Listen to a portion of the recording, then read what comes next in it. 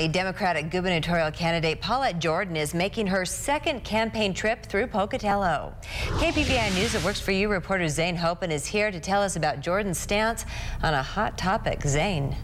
Thanks, Brenda. With the mass shooting in Parkland, Florida just about two weeks ago, the conversation on gun control continues to escalate, which makes taking a stance on the issue difficult for Paulette Jordan, whose background and political affiliations tend to clash.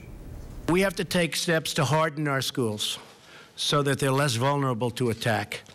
This includes allowing well-trained and certified school personnel to carry concealed firearm. Paulette Jordan, your thoughts? I don't want to drive out our families. I want to make sure that we're protecting them. So we're doing the exact opposite if we continue to follow suit of a president who may never have even owned a gun or has uh, shot one. I think as a progressive, what's really unique is that I am a certified and trained gun owner.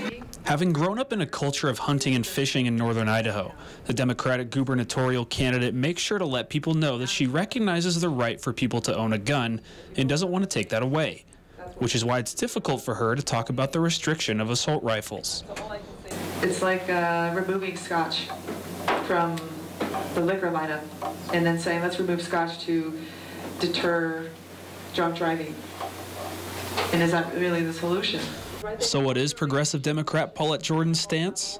Education, enforcement, and accountability. And I think that's the future of Idaho is uh, one, holding people accountable if they shoot. And while anyone and everyone can own a gun in this state, we still need to stand strong with our laws and being responsible gun owners.